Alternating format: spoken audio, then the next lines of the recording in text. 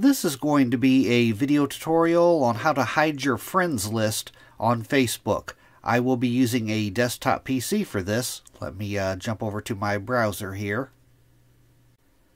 I have my browser open now and I am logged into Facebook. To hide your friends list on Facebook, it's very easy to do. First thing you want to do is go off to the upper right hand corner up to where you see your profile icon.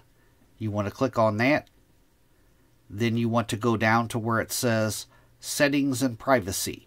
Settings and Privacy. Then you want to go up to where it says Settings. Settings. Now in the pane, off to the left hand side here, you want to scroll down to where you see the uh, audience and visibility area. And right down here, how people find you and contact you. Click on how people find you and contact you. Then in the center pane, the second thing down right here, who can see your friends list. Off to the right here, you can see I have mine set to friends, but if I click on that, it gives you a whole lot of different options here.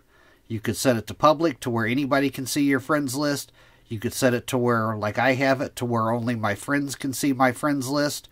You can set it to friends accept people, specific friends, only me. If you select only me, then you, no nobody can see your friends list. You can make it custom. It gives you a lot of different options here. I have mine set to friends. Those are the options that it gives you. If you want to hide it, you, you would toggle on only me.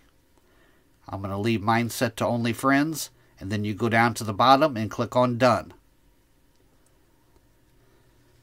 That is how to hide your friends list on Facebook. Thanks for watching.